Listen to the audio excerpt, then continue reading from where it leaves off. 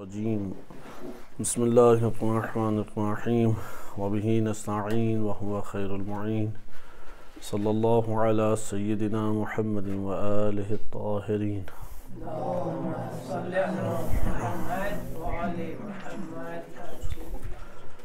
قرآن کریم کی روشنی میں ماہ مبارک رمضان کی مناسبت سے شیاطین و ابلیس اور ان کے احوال و اوصاف قرآن و روایات اہل بیت علیہ السلام کی تناظر میں ذکر کیے جا رہے تھے۔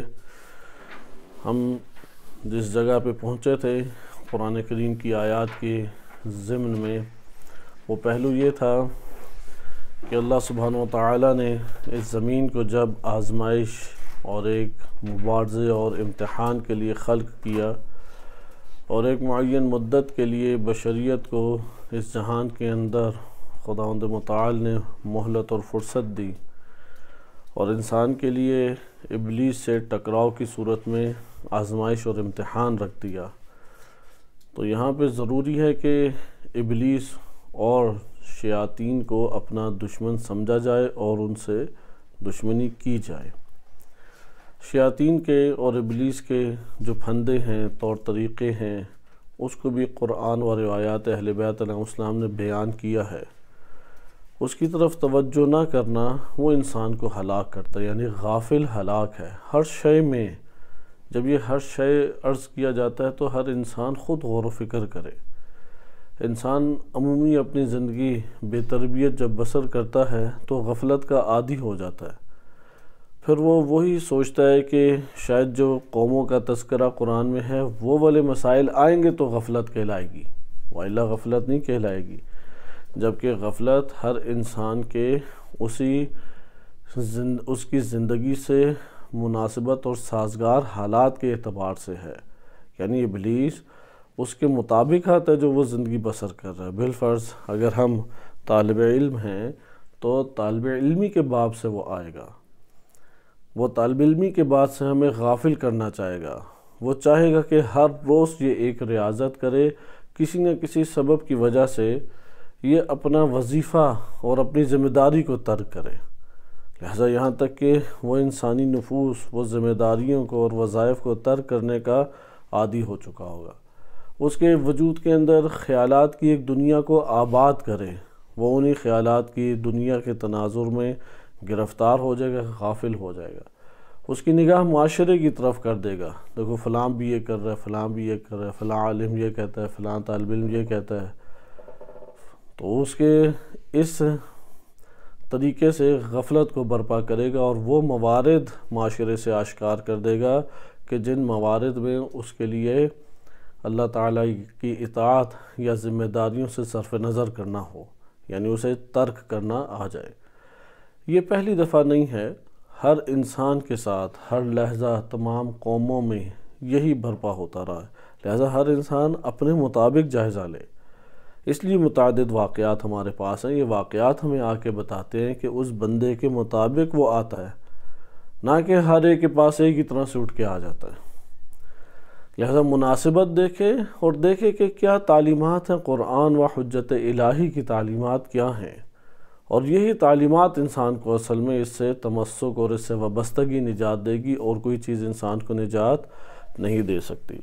انہی واقعات میں سے ہم ایک پڑھ رہے تھے کہ جو اصول برائی ہیں، جو جڑ ہیں برائیوں کی، جو اہم ترین برائیاں ہیں کہ جن کی اساس پہ بقیہ تمام برائیاں معاشرے کے اندر پھیلتی چلی جا رہی ہیں، وہ برائیاں ابلیس نے ایجاد کی۔ کیونکہ وہ شیاطین کا سربراہ، ان کا سید، مولا اور آقا ابلیس ہی اسے ایجاد کر سکتا ہے، کوئی اور اسے ایجاد نہیں کر سکتا۔ لہٰذا ان میں سے ایک واقعہ صحاب رس کا ہم پڑھ رہے تھے۔ قرآن کریم کی دو آیات میں سورہ فرقان و سورہ قاف میں صحاب رس کا تذکرہ وارد ہوا ہے۔ کل آپ نے عیون اخبار رضا سے سید سند روایت ہے کہ ہمارے محدثین نے جیسے کہ موجودہ معاصر ناقد رجالی شیخ آصف محسنی رحمۃ اللہ علیہ، انہوں نے بھی اس کو سید سند قرار دیا ہے۔ لہذا سند کے اوپر ہم بحث نہیں کرتے کہ بہت آشکار راوی اس کے ہیں، جلیل القدر راوی ہیں۔ اس روایت میں ایک شخص، اس روایت کے مطابق امام رضا علیہ السلام نقل فرماتے ہیں کہ ایک شخص امیر المومنین علیہ السلام کے پاس آیا اور اس نے آ کے سوال کیا اصحاب رس کے بارے میں۔ ہمارا موضوع یہ چل رہا ہے کہ سب سے پہلے شرک کو ابلیس نے ایجاد کیا۔ چند برائیاں اصول کی حیثیت رکھتی ہیں، ان میں سے ایک شرک ہے۔ حسد ان میں سے ایک ہے۔ وہ انشاءاللہ اس کا بیان ابھی آگے آئے گا۔ لیکن اول شرک۔ شرک کی اساس کے اوپر اس وقت پوری دنیا میں فکری نجاست بھی پھیلی ہوئی ہے اور ظاہری نجاست بھی پھیلی ہوئی ہے۔ کیونکہ جب افکار نجس ہو جائیں تو انسان کے وجود سے جو اعمال صادر ہوتے ہیں وہ بھی نجاست سے آلودہ ہوں گے۔ لہذا یہ شخص امام علیہ السلام کی خدمت میں آیا۔ اس واقعے سے ہمیں یہی بات پتہ لگے گی کہ یہ جو بت پرستی ہے یہ جو گمراہ کن اعمال اور افعال ہیں جو معاشروں میں تیزی سے پھیل جاتے ہیں، ان کے پیچھے در حقیقت ابلیس ہے اور اس کی کار فرمائی ہوتی ہے کہ جس کی بنیاد پہ وہ تیزی سے نشر ہو جاتے ہیں اور مومنین بابصیرت لوگ وہ مبارزہ اس کے ساتھ کرتے ہیں۔ یعنی جو حجت الہی کے پیروں ہیں وہ مبارزہ کرتے ہیں۔ یعنی وہی جھگڑا، وہی دشمنی جو خلقت کے وقت آدم علیہ السلام سے ابلیس نے بڑھتی تھی، وہ دشمنی تا قیامت چلتی رہے گی۔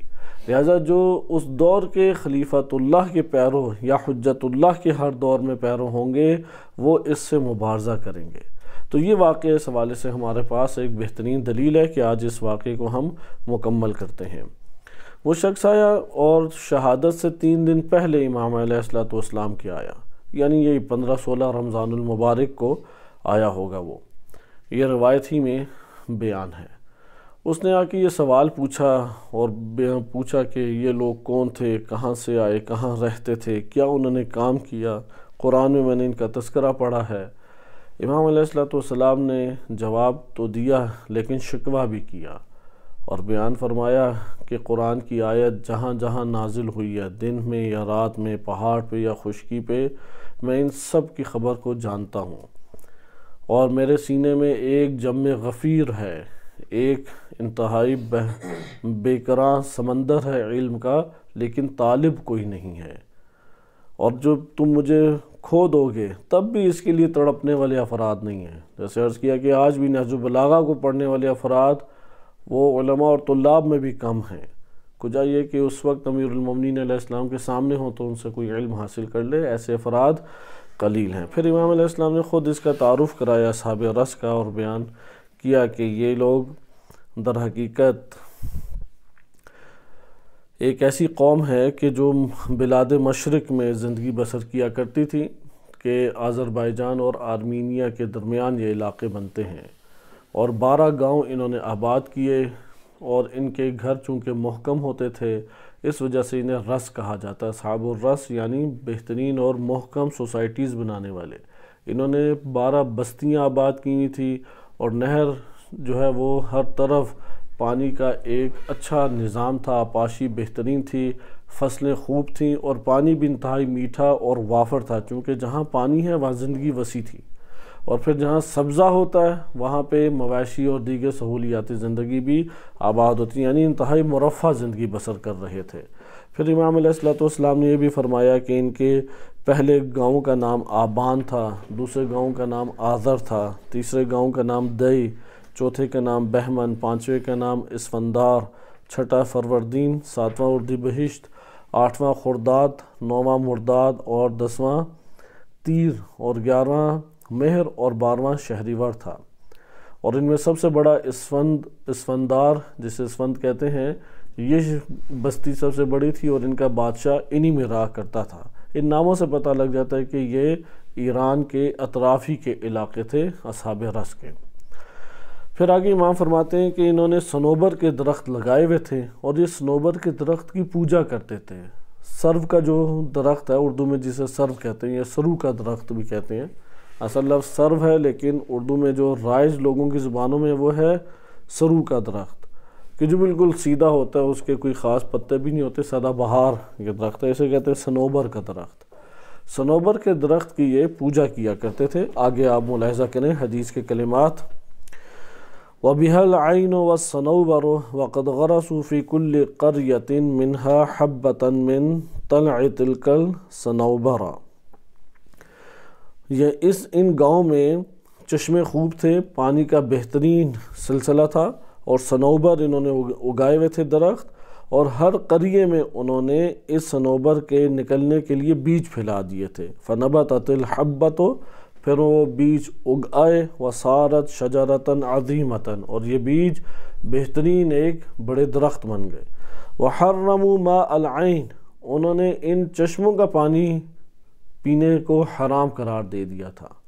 جو چشمے تھے، کیونکہ انہی چشموں سے ساری کی ساری رونق تھی اور انہی چشموں سے یہ آبپاشی اور آبیاری ہوا کرتی تھی، انہوں نے ان چشموں کے پانی کو حرام قرار دے دیا۔ والانہار، اور جو نہریں اور دریا تھے۔ عربی میں نہر کہتے ہیں دریا کو یعنی ایک بڑے دریا ادھر بہتے تھے۔ ابھی بھی آپ اس طرف آذربائیجان کی طرف دیکھیں، کئی دریا بہتے ہیں اس طرف۔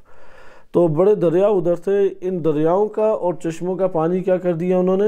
حرام قرار دے دیا تھا پینا۔ فلا یشربون منہا، وہ ان پانی کے ذخائر سے کچھ بھی نہیں پیتے تھے۔ وَلَلَا أَنْعَامُهُمْ اور ان کے جو مویشی تھے وہ بھی نہیں پیتے تھے۔ وَمَنْ فَعَلَ ذَلِكَ جو بھی یہ جسارت کرتا کہ اس سے کچھ پی لے، قَتَلُوهُمْ، اسے قتل کر دیتے تھے۔ وَيَقُولُونَ هُوَ حَيَاتُ آلِحَتِنَا وہ یہ کہا کرتے تھے، یہ پانی ہمارے معبودوں کی حیات اور زندگی ہے۔ فلا ينبغي لأحد ان ينقص من حیاتها کسی کو یہ حق نہیں پہنچتا کہ وہ ان کے معبودوں کی زندگی کو کم کر دیں اس میں سے کسی قسم کی کمی لے آئیں وَيَشْرَبُونَهُمْ وَأَنْعَامُهُمْ مِنْ نَهْرِ الرَّسْ الَّذِي عَلَيْهِ قُرَاهُمْ۔ یہ لوگ جہاں سے پانی پیتے تھے اور ان کے مویشی جہاں سے پانی پیتے تھے، یہ وہ نہر تھی کہ جس کے کنارے پہ انہوں نے گھر آباد کی ہوئے تھے۔ یعنی ان کے پاس چند دریا تھے اور خوب چشمے تھے۔ انہوں نے سب دریا اور چشموں سے استفادہ کیا کر دیا، حرام قرار دے دیا۔ لیکن جو ان کے گھر جہاں پہ بنے ہوئے تھے یا بستیاں جہاں پہ بنی ہوئی تھی اور بستیوں کے ساتھ جو رس کے عنوان سے دریا تھا، اس سے استفادہ کرتے تھے۔ الذي علیہ قراہم، کہ اسی نہر رس کے اوپر ان کی بستیاں تھیں، وقد جعلوا فی کل شہر من السنات، کہ ہر سال، ہر مہینے میں فی کل قریتن ہر ایک بستی میں عیدن عید مناتے تھے۔ بارہ بستیاں، بارہ مہینے اور بارہ عیدیں۔ ہر سال، ہر ایک قریے میں عید مناتے تھے۔ یجمع علیہ اہلہا یہ جو بستیوں والے ہیں وہ پھر اس جگہ پہ جمع ہو جاتے۔ فَيَضْرِبُونَ عَلَى الشَّجَرَةِ الَّتِي بِهَا قِلَّةُ مَنْ يُرِيدُ فِيهَا مِنْ أَنْوَاعِ السُّوَرِ۔ وہ درخت کہ جس کو وہ یہ لوگ بڑا پوجا کرتے تھے یا احترام کیا کرتے تھے، وہ کیا کرتے تھے؟ یضربون علی علی الشجرات اس پتھر کے اوپر مختلف طرح کی صورتوں کو وہ بنایا کرتے تھے۔ مختلف طرح کی صورتوں کو یضربون علی ہوتا ہے کہ اس کے اوپر نقش نگاری کرنا یا نقوش وغیرہ بنانا۔ یعنی ان درختوں کے اوپر ہلکے سے پردے، کوئی پتلی سے پردے نما چیز بچھاتے تھے، کیونکہ درخت کے اوپر تو اس طرح سے نہیں۔ سنوبر کا درخت کوئی بہت چوڑا نہیں ہوتا، جیسے برگ کا درخت پاکستان یا ہندوستان وغیرہ میں ہوتا ہے، اس طرح سے نہیں ہے۔ سنوبر کا چھوٹا سا درخت ہے، اس کے اوپر تو شکلیں وغیرہ مشکل سے بنے۔ یہ لوگ غالباً یہ جو کلمہ ہے، قلت میں یرید فیہا من انواع السور، کہ درخت کے اوپر انہوں نے ایک پتلی سی ایک پردہ نما چیز وہ آویزاں کر دیتے تھے، لٹکا دیتے تھے، اور اس کے اوپر پھر مختلف طرح کی صورتیں وہ بنایا کرتے تھے۔ ثم یاتون بشات و بقرن، پھر وہ بکریوں اور گایوں کو لے کے آیا کرتے تھے۔ فیضبحونہا قربانا للشجرات اور پھر وہ ان کو شجر درخت کے لیے قربان کر دیتے تھے۔ یعنی قربانی، قربتاً لشجرہ کیا کرتے تھے۔ قربتاً للہ نہیں، اللہ کے لیے قربانی نہیں۔ حتیٰ کہ بعض چیزیں کہ ہمارے ہاں معاشرے میں لاشوری طور پہ بعض الفاظ رائج ہو گئے ہیں کہ نہیں ہونے چاہیے رائج۔ ہاں اگر کوئی غیر اللہ کے لیے مخصوص طور پہ قربانی کرے، یقیناً ذبح کے بارے میں یہ احکام ہیں۔ یہ احکام ساری چیزوں کے اوپر نہیں ہے آپ کہیں گے میں نے فقط آپ کی خاطر آج کھانا بنایا تو کھانا حرام ہو جائے گا۔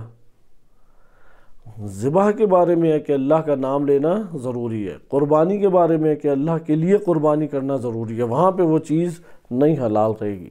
یا کم سے کم شری نہیں رہے گی اور غیر شری گوشت کھانا حرام ہے۔ درست ہے۔ اسی طریقے سے قسم ہے، غیر اللہ کی قسم نہیں ہوتی شری قسم نہیں ہے۔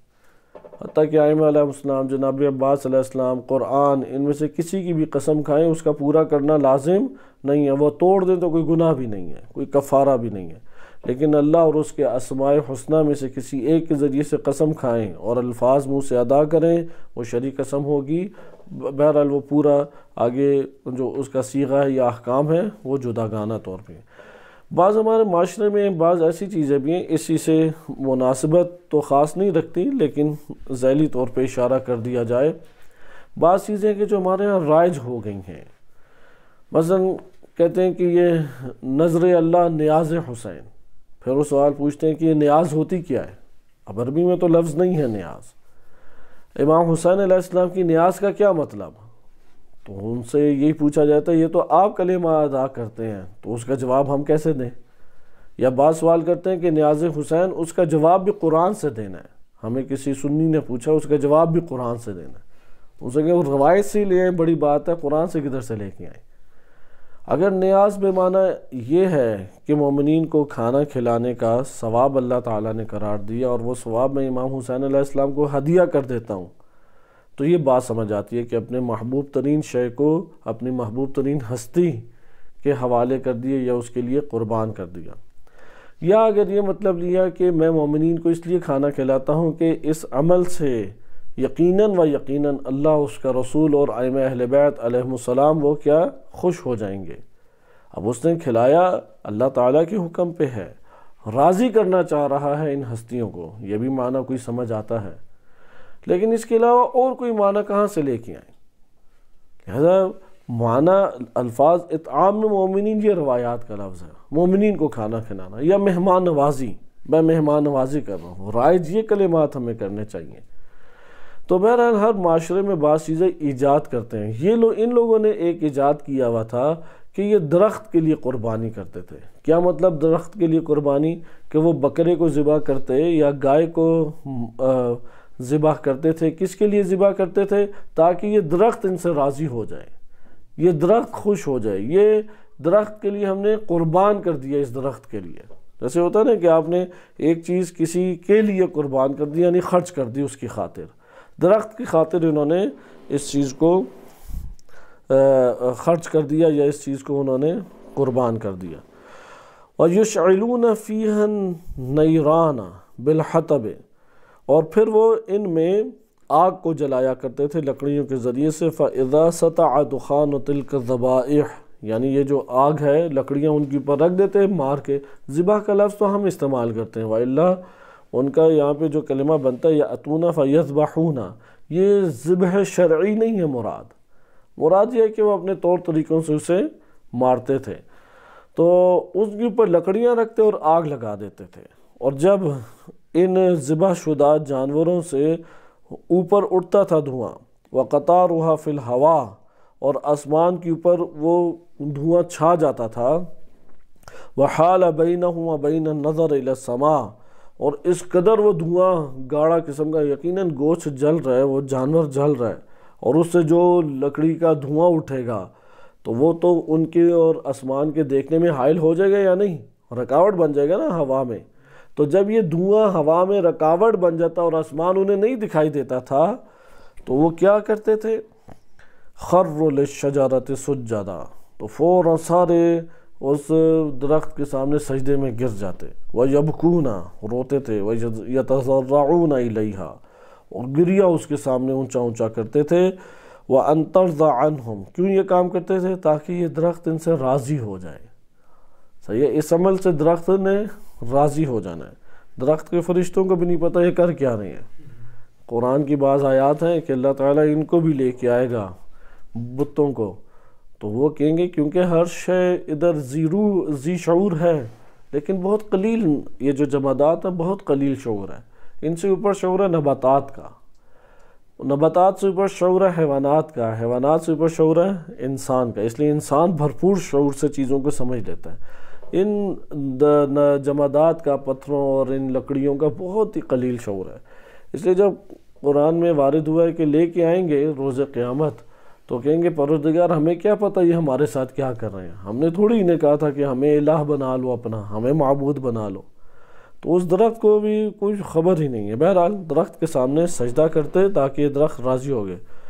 یہاں پہ آئیں دیکھیں شیطان کیا کرتا ہے۔ فقان شیطان و یجی اب یہ آسمان پہ دھواں ہی دھواں پھیلا ہوا ہے، گاڑے اس کا۔ جیسے آپ دیکھتے ہیں نا، چربی اگر جلتی ہے تو وہ گھر میں ہی نہیں بندہ رہ سکتا۔ اتنا گاڑا دھواں ہوتا ہے۔ تو یہ جو بکروں کی اور گایوں کے پورے وجود کو جلایا جائے گا، کتنا گاڑا دھواں آسمان پر ہوگا۔ تو آسمان انہیں دکھائی نہیں دیتا تھا۔ جب آسمان نہیں دکھائی دیتا تھا، سارے سجدے میں گر جاتے۔ روتے، چیخے مارتے، گڑ گڑاتے۔ اور سمجھتے کہ اب راضی ہو رہا ہے۔ یہاں پہ اگر درخت کچھ بھی نعمل انجام دے، تو ان کے آہستہ آہستہ حوصلے بیٹھنے لگ جانے تھے۔ شیطان نے آ کے کیا کام کیا؟ یجی او فیحرک اغسانہا اس نے ان کے جو ٹہنیاں انہیں ہلانا شروع کر دیا۔ وہ یسیح من ساقہا۔ اور جڑوں سے یہ چیخ زور سے ماری۔ سیاہ سبی، ایک چھوٹے سے بچے کی چیخ کو اس نے بلند کیا۔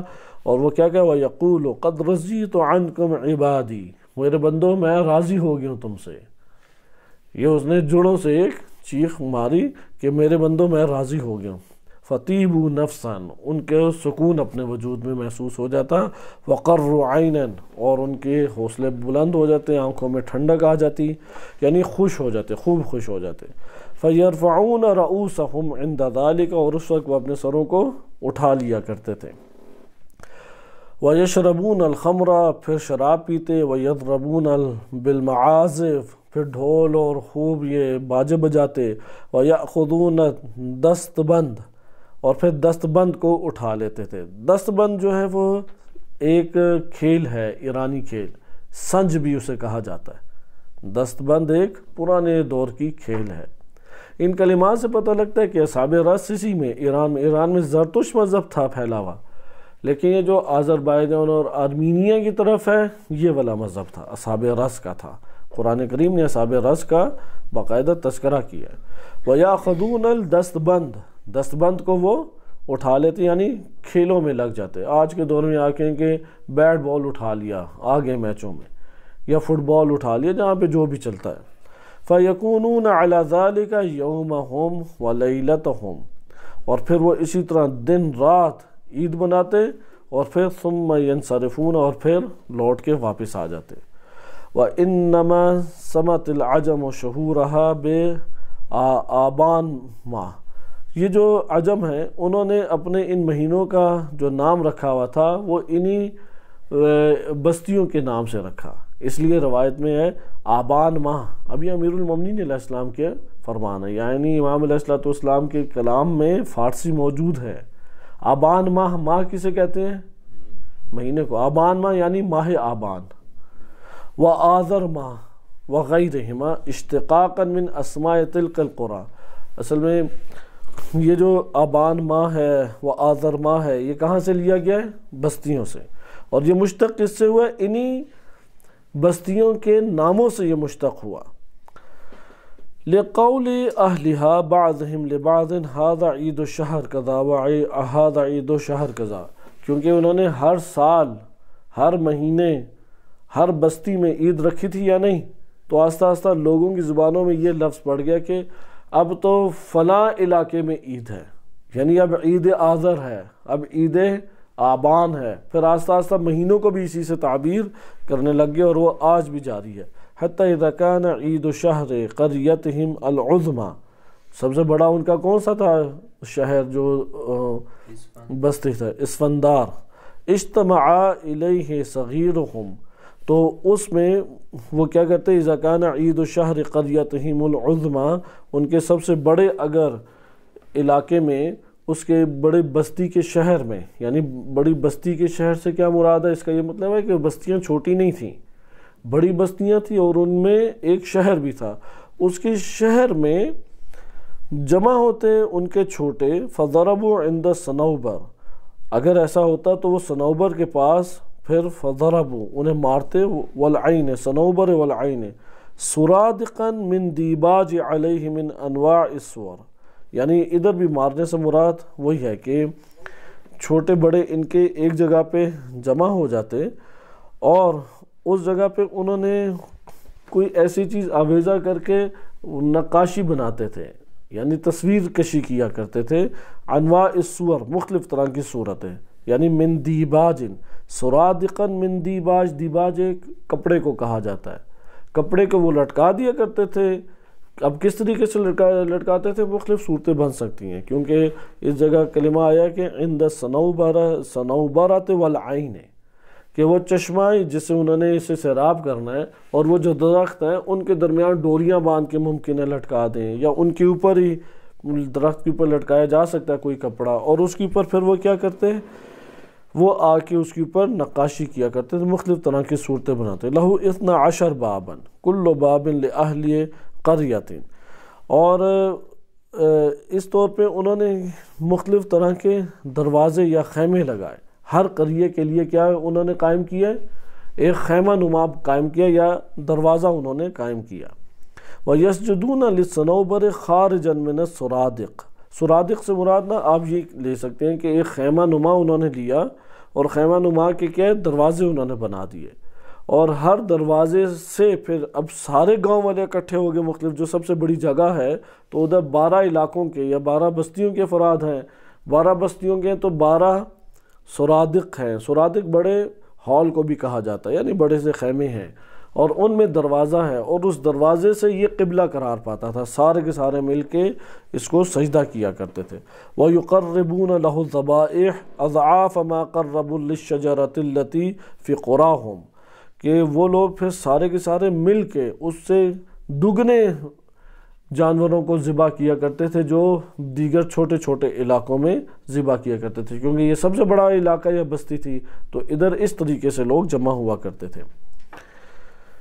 فیجی و ابلیس عند ذالکا اس وقت پھر ابلیس آیا کرتا۔ فیحرک الصنوبر تحریکا شدیدا۔ زور سے ہلاتا تھا پورے صنوبر کو۔ وَيَتَكَلَّمِ مِن جَوْفِهَا كَلَامًا جَوْحَرِيًّا اور اس درخت کے درمیان سے اونچی آواز میں بولا کرتا تھا۔ وَيَعِدُهُمْ وَيُمَنِّيهِمْ بِأَكْثَرَ مِمَّا وَعَدَتْهُمْ وَمَنَّتْهُمُ الشَّيَاطِينُ كُلُّهَا۔ اور ان لوگوں کو زیادہ تمنائے ابھارتا تھا، زیادہ دلاسے دیتا تھا، زیادہ ان کو ابھارتا تھا۔ جتنا تمام شیاطین ابھارتے تھے، اس سے کئی گنا زیادہ ابلیس ابھارتا تھا۔ اس کی قوت بھی زیادہ، دیگر شیاطین کی نسبت۔ لہٰذا ابلیس دیکھیں کس طرح نفوس کے اوپر آ کے اثر انداز ہوا کرتا تھا۔ فَيَرْفَعُونَ رَعُوسَهُم مِّنَ السُّجُودِ، پھر سب کے سب اب بارہ بستیوں کے لوگ جمع ہیں۔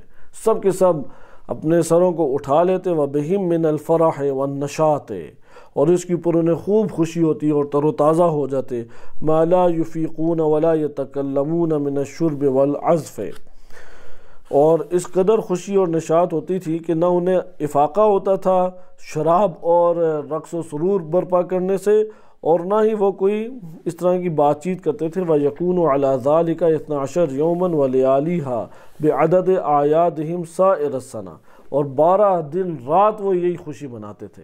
یہ ہمیں ویسے ہی معلوم ہو گیا کہ پوری دنیا میں شاید اپنے ایام رسمی جو ہر علاقے کے ایام ہوتے ہیں ہر ملک میں، ہر ایک معاشرے میں بعض چیزیں علاقائی اور رسمی ہوتی ہی ہیں۔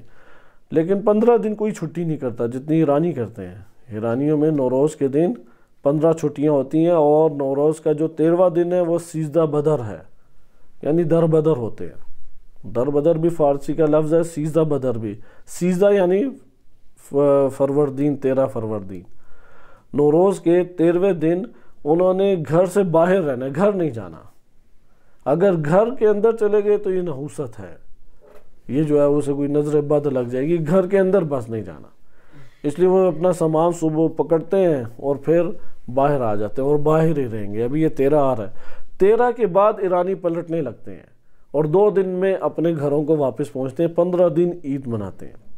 دکانیں بند ہو جاتی ہیں، جیسے بھی آپ دیکھ رہے ہیں۔ اسکولوں میں بھی تعداد تھوڑی ہوتی ہے، دفتروں میں بھی تھوڑی ہوتی ہے۔ اور لوگ بامشکل ویسے رسمی طور پہ چار دن ہے چھٹی، تین دن چھٹی ہے، چار دن۔ لیکن وہ پوری کرتے ہیں پندرہ دن۔ ادھر بھی آپ دیکھیں کہ ان لوگوں کا کیا رواج تھا کہ تمام علاقوں میں ایک ایک دن ہوتی تھی۔ لیکن ادھر تمام علاقوں کی نسبت بڑا ہے اور سب جمع ہیں۔ تو بارہ دن دن رات انہوں نے خوشی منانی ہے۔ ثم ینصرفون اور پھر واپس آ جاتے۔ فلما طال کفرہم باللہ عز وجل وعبادتہم غیرہ جب طولانی ان کا کفر ہو گیا، اللہ سبحانہ و کا کفر انہوں نے طویل مدت گزر گئی اور بڑے پیمانے پہ ہونے لگا۔ اور اللہ کی عبادت کو ترک کر کے غیر اللہ کی عبادت کرنے لگ گئے۔ بعث اللہ عز وجل الیہم نبیہ۔ تو اللہ عز وجل نے ان کی طرف نبی بھیجا۔ من بنی اسرائیل بنی اسرائیل ہی میں سے تھا وہ۔ من ولد یاہود بن یعقوب یعقوب بن یاہود کی نسل سے تھا۔ آپ جانتے ہیں نا یعقوب علیہ السلام کے کتنے بیٹے تھے؟ بارہ بیٹے تھے نا، معروف ہے۔ یوسف علیہ السلام ایک ہی تھے۔ یوسف علیہ السلام ایک ہی تھے۔ جیسے نبی صلی اللہ علیہ وسلم کی بیٹیوں کے بارے میں اختلاف ہے، چار ہیں یا ایک۔ چار یا ایک ہونے سے کوئی خاص فرق نہیں پڑتا۔ کیونکہ اگر سو بیٹیاں بھی ہوتی تو فاطمہ علیہ السلام وہ ایک ہی ہیں ان کی مثل اصلاً کوئی وجود ہی نہیں رکھتا خواتین میں۔ تو اس لیے حضرت یعقوب علیہ السلام کے سو بیٹے بھی ہوتے تو یوسف تو ایک ہی تھے نا۔ بہرحال حضرت یوسف علیہ السلام کے جو بھائی تھے، وہ مومن تھے یا نہیں؟ یعنی حجت خدا کو مارنے والا، کنویں میں پھینکنے والا، قتل کرنے والا مومن ہوگا؟ مومن تھے تو شیطان نے نہیں مومن رہے یا نہیں رہے یا یہ سوال کر لیں۔ یعنی اس دنیا سے جب رخصت ہوئے تو مومن رخصت ہوئے یا غیر مومن رخصت ہوئے؟ بعد میں وہ توبہ کر لی انہوں نے توبہ کر لی استغفار کر لیا۔ لیکن وہ کیا سبب بنا کہ معصوم کے گھر کی اولاد اب اولاد بھی کم نہیں کیونکہ ایک بچہ بگڑ جائے تو ہمیں بھی تعجب نہیں ہوتا، ٹھیک ہے؟ مولوی صاحب کے بقیہ بچے تو اچھے ہی ہیں۔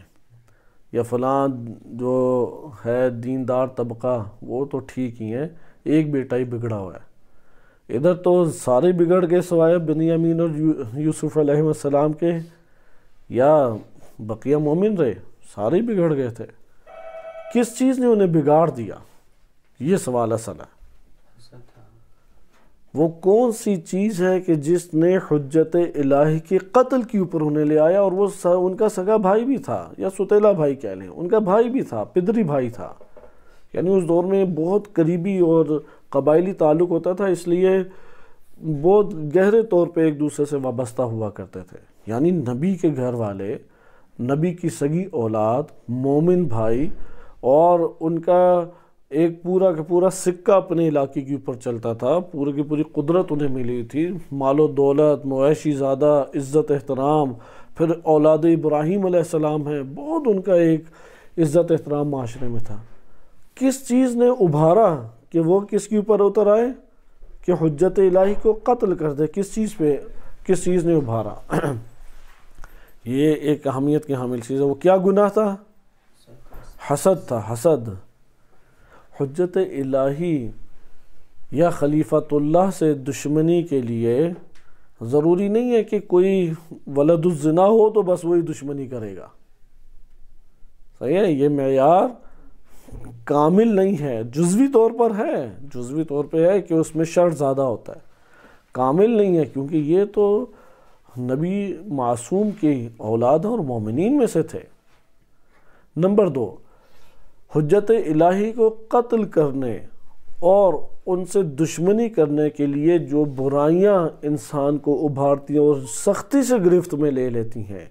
ان برائیوں کا تعین کرنا ضروری ہے کیونکہ ہر دور میں یہی برائی ابلیس نے ابھار کے قتل کرانے کی کوشش کی ہے۔ دشمنی کرانے کے لیے وہ اسی بیماری کو استعمال کرتا ہے۔ اگر کسی نے تزکیہ نفس کیا تو ٹھیک ہے، اس کے اندر یہ ہم کہیں گے کہ مرض نہیں پایا جاتا۔ اگر کسی نے سال ہر سال ان امراض اخلاقی کو دور کرنے کا تزکیہ نفس نہیں کیا، وہ یقیناً و یقیناً یعنی سو فیصد سے بھی آگے اس مرض میں مبتلا ہے۔ مگر یہ کہ حوادث اس کے لیے اس طرح سے جنم لیں کہ وہ ایک جگہ کے اوپر ہے، ہم اثر ہیں اس کے، اسی کو نہیں پوچھا جاتا۔ اسی کو سائڈ پہ کر دیا جاتا ہے، اسی کو آگے نہیں بڑھنے دیا جاتا۔ وہ وہاں پہ منفی نہ سوچے، یہاں پہ مرض کا علاج ہو جائے گا۔ وہ پھر بھی اس کو آگے آنے دے اس جگہ پہ اس کے لیے دعا کرے اس طرح سے تو حسد کم ہو سکتا ہے۔ اللہ خود ایک ریاضت کرنے پڑے گی۔ یعنی حسد ایک ایسی بیماری ہے کہ جو نبی کے گھرانے کی تربیت شدہ اولاد کو بھی حجت الہی کے قتل کے اوپر ابھار دیتی ہے۔ اور اس صورت میں نبی کے گھرانے اور ان کی اولاد کو اغوا کر لیتی ہے۔ ہم تو کوئی چیز ہی نہیں ہے ان کو بھی اغوا کر کے ابلیس اپنے لشکر کے اندر لے کے آ جاتا ہے۔ لہذا یہاں پہ بھی آپ دیکھیں کہ یہود جو ہے نا، یہود بن یعقوب، یہ اصل میں کتراتے رہے۔ اور یہ نہیں، اس میں لاوی تھا یہ یہودا تھا؟ یہودا تھا نا، کیونکہ فلم بن گئی ہے تو اب ذہنوں میں ہونا چاہیے نام۔ یہودا تھا کہ جو طرز کھاتا رہا۔ اس لیے یوسف علیہ السلام کی نسل سے انبیاء نہیں آئے۔ یہودا کی نسل سے لاوی کھاتا تھا۔ بہرحال یہاں پہ یہودا کا تذکرہ ہے کہ ظاہراً لاوی اس لیے میں نے عرض کیا، فلم کے مطابق آپ کہیں کہ طرز لاوی کھاتا رہا۔ لیکن یہودا کی نسل سے کون آئے؟ انبیاء آگے آئے۔ ممکن ہے کہ جو ہمارے پاس معتبر سند ہے، اس کے مطابق یہودا ہو اور جو دیگر غیر معتبر اسناد ہیں، ادھر لاوی نام آ گیا ہو۔ صحیح ہے، ناموں کا۔ یعنی اسی کی نسل سے چلے جس نے طرز کھایا۔ ہم اس روایت کے مطابق حسن زن رکھتے ہوئے اس کا نام یہودا قرار دے دیتے ہیں۔ صحیح کیونکہ یہ روایت معتبر ہے۔ بقیہ روایات جہاں سے ممکن ہے اٹھایا ہو یہ بیان وہ معتبر احادیث نہیں ہے من ولد یہود یہودہ بن یعقوب فلبس فیہم زمانا طویلا۔ وہ ایک طویل زمانہ رہے ان لوگوں میں۔ یہاں سے ہمیں ایک اور چیز کا بھی علم ہو جاتا ہے۔ ہم عموماً بعنوان طالب علم ایک وظیفہ رکھتے ہیں یعنی کہ ہم وارث انبیاء علیہ السلام ہیں۔ انبیاء علیہ السلام ان کا جو مشن، جو ان کا ہدف، جو ان کا مقصد، جو ان کی سیرت، وہی ہمیں اختیار کرنی چاہیے یا نہیں؟ یعنی جو ان کا مقصد تھا اور جو ان کی ذمہ داری معاشرے میں تھی وہ کس نے انجام دینی ہے؟ علماء نے انجام دینی ہے، طلاب نے انجام دینی ہے۔ اگر ہمیں موقع ملے، ایک جگہ ایسی ہے جہاں سارے رہتے ہی ملنگ ٹائپ ہیں۔ صحیح ہے؟ وہ وہاں پہ کوئی بات ہی نہیں سنتا۔ صحیح ہے؟ ادھر کوئی اثر بھی نہیں ہو رہا آپ کی بات کا۔ وہاں پر آپ جائیں گے یا با ایک جگہ ہے جہاں پہ کالج کے کچھ لڑکے، یونیورسٹی کے کچھ لڑکے اکٹھے ہو گئے ہیں، بڑی جازبیت سے آتے ہیں، تھوڑے سے بے شک پندرہ بیس۔ لیکن ان کے درمیان آپ بات کرتے ہیں، انہیں سمجھ آتی ہے۔ آپ کو دو میں سے ایک کا موقع مل جائے۔ کن کے درمیان جا کے رہیں گے؟ کن کے درمیان رہنا چاہیں گے؟ اگر وظیفہ انبیاء سمجھیں تو پھر کن میں جائیں گے؟ ملنگوں میں جائیں گے، یہ سارے ملنگ ہی اس دور کے تھے جنہوں نے درخت کی پوجا شروع کر دی۔ اللہ نے انبیاء جو ہیں، وہ صالح معاشرے میں بھیجیں یا فاسد معاشرے میں بھیجیں تاکہ اس کی اصلاح ہو۔ جب مبعوث کیا ہے تو فاسد معاشروں میں بھیجا کہ اصلاح کریں ادھر جا کے۔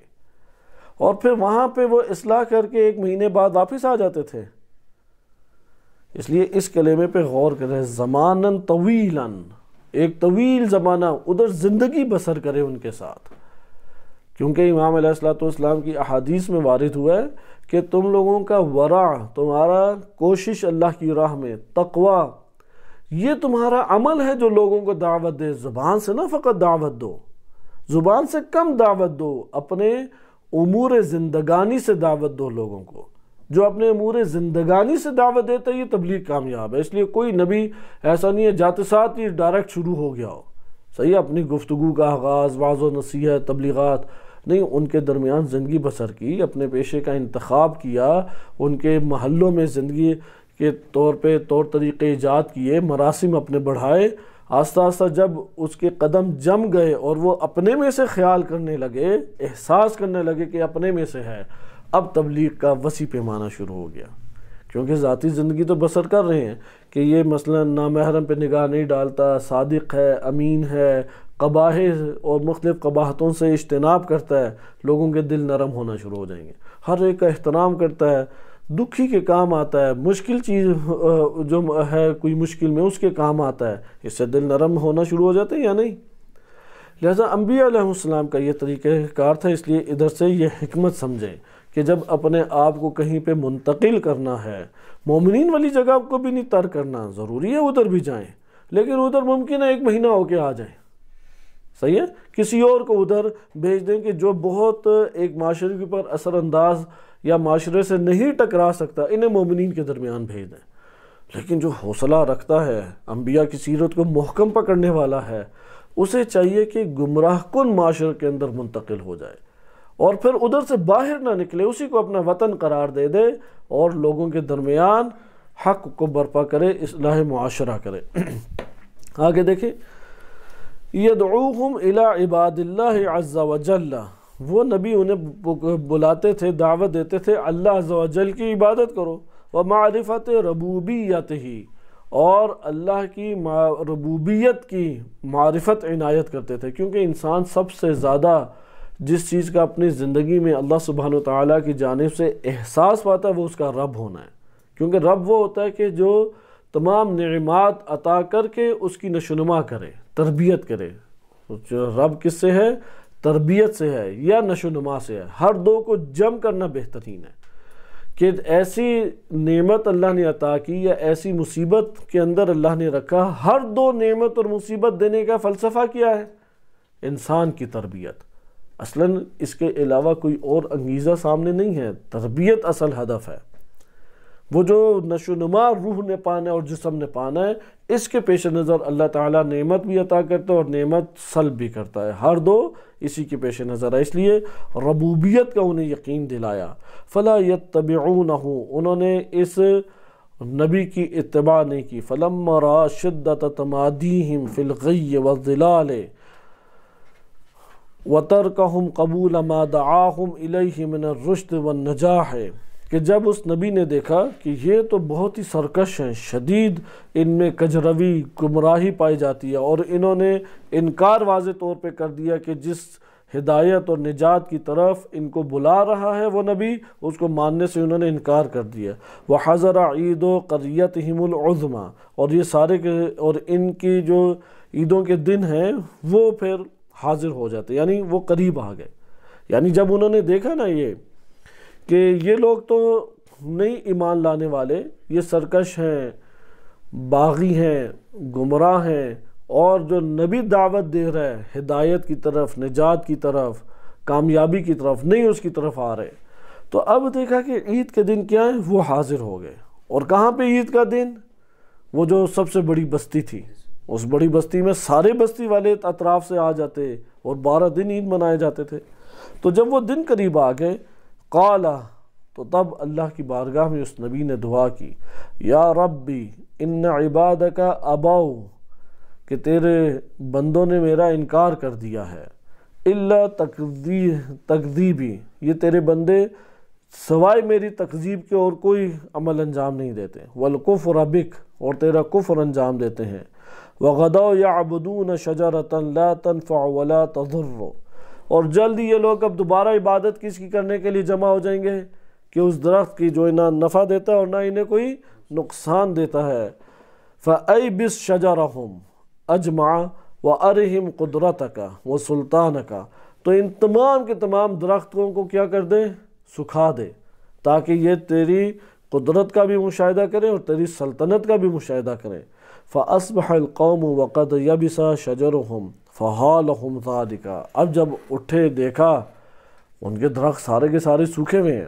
ان کے اوپر تو ایک جیسے نا انتہائی ہولناکی تاری ہوگی۔ حالہم ذالکہ انتہائی ہولناکی تاری ہوگی۔ وہ قطع بہم یعنی نا امیدی ان کے اوپر چھانی لگ گئی۔ وہ سارو فرقتین اور یہاں پہ اب دو گروہ بن گئے۔ اس طرح ابلیس لعین ہے کہ اس نے آ کے مزید ان کے اندر اس گمراہی کو پھیلا دیا اور محکم کیا۔ اللہ سبحانہ وتعالی بھی جب حق کو نشر کرتا ہے اور حق کا آغاز کرتا ہے، اس کے لیے بھی اپنی قدرت کا مظاہرہ ہر دور میں کرتا ہے۔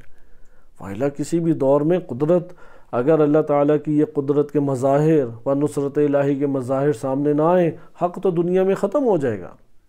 اس کی سب سے بڑی مثال آپ عالم اسلام میں اس وقت بھی عالم اسلام میں ماڈرنزم کی طرف اور بے حیائی اور فحاشی کی طرف سر فہرست کون سا ملک ہے؟ کوئی آپ کی اطلاع میں ہے سر فہرست کون سا ملک ہے؟ ماڈرنزم اور فحاشی کی طرف، بے حجابی کی طرف۔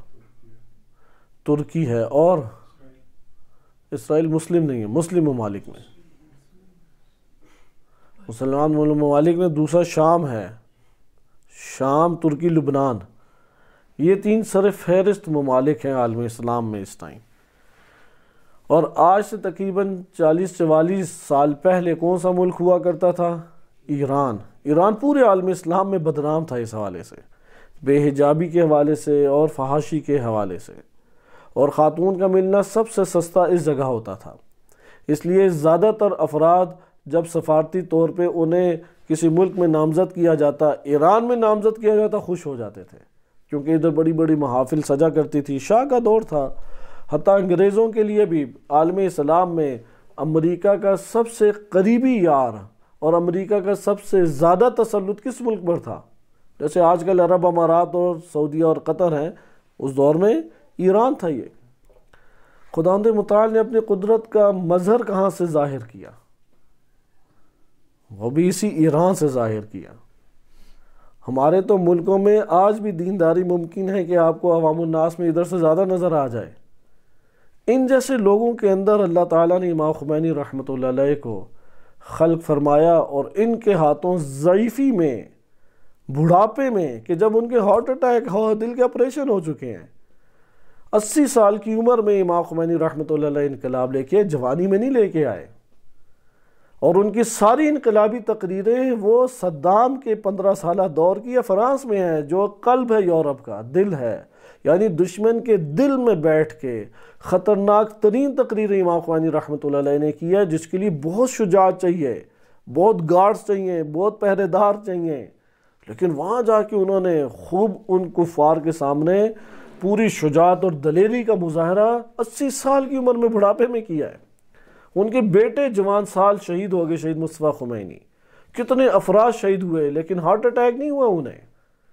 یہ جو شہید بہشتی والا حادثہ تھا، اس کے اوپر انقلابیوں کو بھی یقین تھا کہ امام خمینی رحمۃ اللہ علیہ کو سخت جھٹکا ملے گا۔ لیکن اس کو انہوں نے دیکھا، کچھ بھی نہیں امام خمینی کو اتنا قوی دل اللہ تعالیٰ نے عطا کیا۔ یہ وہ قلب ہے جو پیوست ہے اللہ تعالیٰ کی ذات کے ساتھ۔ توکل کی قدرت ان کے پاس موجود ہے، صبر کی قدرت موجود ہے۔ لہٰذا آپ نے دیکھا کہ اس طرح سے برائی کے اندر سے، ایک سمندر برائی کے اندر سے اللہ تعالیٰ نور کو نچھاور کرتا ہے۔ اور یہ انقلاب اسلامی نہ ہوتا تو ہم معجزہ ہی سمجھ رہے ہوتے، امام زمان علیہ السلام کے ظہور کے بعد عالمی حکومت۔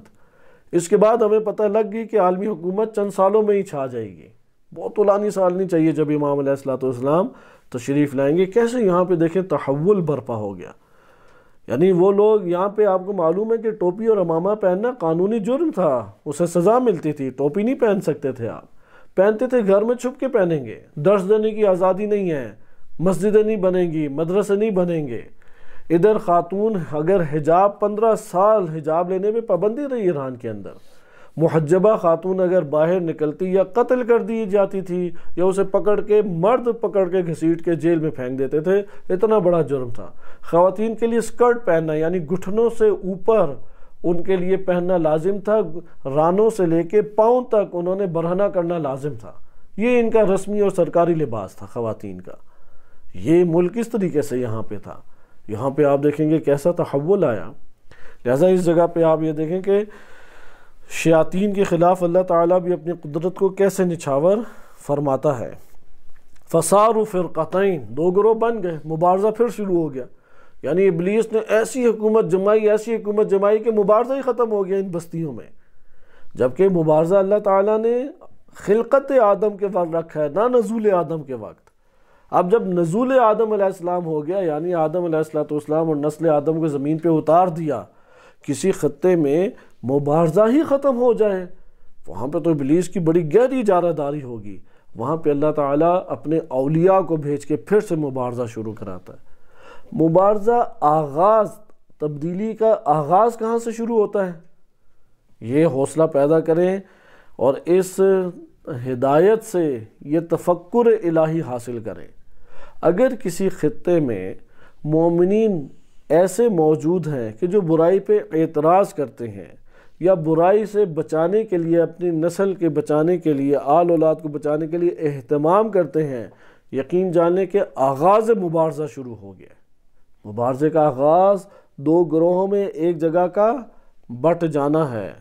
صحیح ہے، اہل باطل کے در، درمیان ایک اہل حق ہو جائے، ایک اہل باطل ہو جائے۔ اس لیے فرقتین فرقت قالت سحر آلہتکم حاضر الرجل۔ یعنی جہاں پہ یہ ٹوٹنا شروع ہو جائے گا جہاں پہ یہ باطل کی قوتیں ٹوٹنا شروع ہو جائیں، حق کے غلبے کی گنجائش بڑھتی چلی جائے گی۔ لہٰذا وحدت فقط حق کے لیے اللہ نے قوت نہیں رکھی، باطل بھی واحد ہو جائے تو قوت حاصل کر لے گا۔ قوت کے جو منابع ہیں اور ذخائر ہیں اور جو قوانین ہیں، وہ سب کے لیے یکساں ہیں۔ بہرحال سارو فرقتین، دو فرقوں میں بٹ کے قالت سحر آلہتکم، حاضر رجل الذي یزعم انہو رسول رب السماء۔ ایک فرقے نے کہا کہ تمہارے معبودوں کو کے اوپر جادو کیا ہے اس شخص نے جو یہ سمجھتا ہے کہ وہ آسمان اور زمین رب السماء والارض، آسمان اور زمین کے رب کا رسول ہے۔ الیکم، تمہاری طرف بھیجا کیا ہے۔ لیصرف وجوہکم عن آلہتکم الى آلہی۔ تاکہ وہ اپنے معبود کی طرف تم لوگوں کا رخ پھیر دے، تم لوگوں کے معبودوں سے ہٹا کے۔ اپنے معبود کی طرف بھیج دے، اسی نے یہ جادو کیا ہے۔ وفرقتن، اور دوسرا گروہ کہنے لگا قاد اللہ بل غضبت آلہتکم۔ حین رات حاضر رجل یعیبها تمہارے جو یہ معبود ہیں، یہ ناراض ہو گئے ہیں۔ انہوں نے جب دیکھا کہ یہ شخص ہے، اور یہ آ کے عیب جوئی کر رہا ہے ہمارے معبودوں کی، فحجبت حسنہا۔ تو انہوں نے اپنے حسن و جمال کو غائب کر دیا تم سے۔ وہ بہا آہا اور اپنی خوشی کو اور یہ جو خوبصورت منظر دکھاتے تھے، اس کو اپنے حجاب میں لے گئے ہیں۔ لے کے تک زبو لہا تاکہ تم لوگ اس درخت کی خاطر غضبناک ہو۔ فتن تسرو من ہو اور اس سے تم لوگ مدد مانگو اور اس کا دفاع کرو۔ انتصار کہتے ہیں کہ اس کے لیے آگے بڑھ کے دفاع کرو، جنگ لڑو۔ نصرہ کہتے ہیں مدد کرنا۔ انتصار یعنی آپ کا آگے بڑھ کے اس کے لیے، اس کی جانب سے تم لوگ آگے بڑھو اور لڑو۔ فَأَجْمَعَ رَأْيُهُمْ عَلَىٰ قَتْلِهِ۔ انہوں نے آپس میں اس بات کی پر اتفاق کیا کہ نبی کو قتل کر دیا جائے۔ فَاتَّخَذُوا أَنَابِيبَ طِوَالًا مِّن رَصَاصٍ وَاسِعَةٍ۔ اب انہوں نے بڑے بڑے، آپ یہ کہہ لیں کہ لوہے وغیرہ پکڑے اور اس کو الافواہ اور انہوں نے ثم ارسلوها فی قرار العین الى اعلى الماء واحدة فوق والاخرى مثل البرابغ ونزحوا ما فيها من الماء۔ ایک خاص طریقے سے انہوں نے ایک عمل کو انجام دیا۔ عمل کو انجام دینے کے لیے انہوں نے لوہے وغیرہ کو پکڑا، اپنے منہ میں انہوں نے رکھا اور اس کے بعد انہوں نے اس کو اتار دیا اوپر سے نیچے تک پانی کے اندر، یہ جو چشموں کے پانی تھے۔ ان کے اندر انہوں نے انہیں قرار دے دیا اور اس کے ذریعے سے پھر وہ کھینچتے تھے، پانی کھینچتے تھے۔ نزحو فیہا من الماء اور ثم حفروا فی قرارها بئرا زیقت المدخل عمیقتا۔ اور ایک اور کنویں کے اندر یا گڑے کے اندر اسے اٹھا کے کھینچ کے لمبے لمبے پائپ لیے، کنویں میں ڈالے، پانی کھینچتے اور دوسرے اس میں وہ ڈالا کرتے تھے۔ وہ وَأَرْسَلُوا فِيهَا نَبِيَّهُمْ پھر انہوں نے ایک تنگ جو کنواں تھا اس کے اندر اپنے نبی کو پھینک دیا، القمو فاہ سخرتن عظیمتن اور پھینکنے کے بعد بہت بڑا پتھر اس کنویں کے اوپر رکھ دیا۔ یعنی کیا کیا کہ ایک کنویں کو خالی کیا، جو بتلا دبلا پتلا تھا۔ کیسے خالی کیا؟ کھینچ کھینچ کے انہوں نے پانی اسے لوہوں سے یا وہی آپ یہ کہہ لیں سٹرا ٹائپ ہوتی ہے جیسے، جب وہ خالی ہو گیا تو اس کے اندر کسی کو پھینک دیا؟ نبی کو پھینک دیا۔ اور اوپر انہوں نے اس کے پتھر رکھ دیا۔ ثم اخرج الانابیب من الماء وقالوا نرجو الان ان ترضى عنه آلهتنا اذا رأت۔ اور پھر انہوں نے وہاں سے نکالا اسے یا ان پائپوں کے ذریعے سے پانی کو دوبارہ چھوڑ دیا۔ یعنی اب کنویں کے اندر اس نبی کو انہوں نے قتل کرنے کی کوشش کی تاکہ ان کا معبود اس سے راضی ہو جائیں۔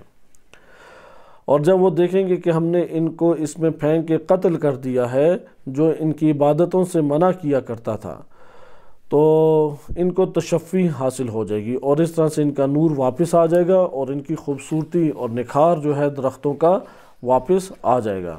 تو اسی طریقے سے انہوں نے رکھا اور وہ نبی جو ہے وہ وہاں سے صدائے دیتے، چیختے چلاتے اور وہ ان کی آوازیں سنا کرتے تھے۔ وہ ہوا یقول سیدی قطرازی کا مکانی۔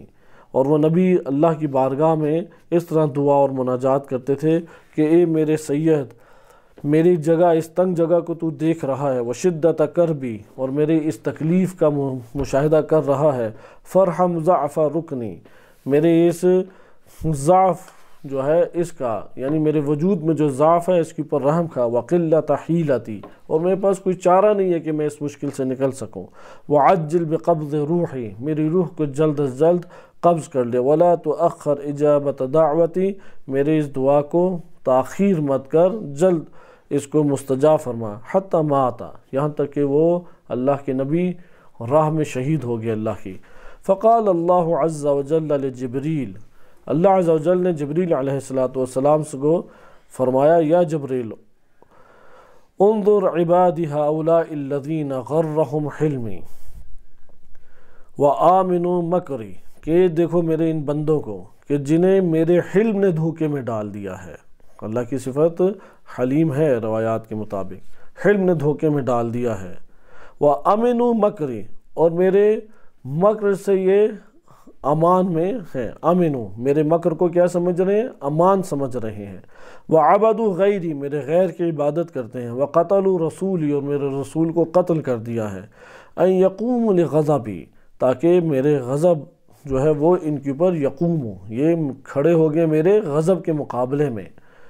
وہ یخرج من سلطانی اور میری سلطنت سے یہ لوگ خارج ہو گئے۔ کئی فو انا انل ان المنتقم ممن عصانی یعنی شیطان کی پیروی کرنے لگے ہیں۔ سلطانی سے مراد و اللہ تو اللہ کی سلطنت سے کوئی باہر نہیں جا سکتا۔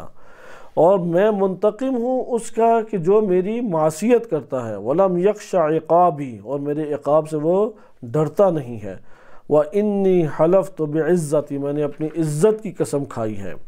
لَأَجْعَلَنَّهُمْ عِبْرَةً وَنَكَالًا لِلْعَالَمِينَ کہ میں ان لوگوں کو عالمین کے لیے عبرت اور، ان عبرت کی علامت بناؤں گا۔ نکالن وہی کہ ذلت، انہیں گھسیٹنا، ذلت کے ساتھ گھسیٹنا، انہیں عبرت کا ایک نمونہ میں عالمین کے لیے بناؤں گا۔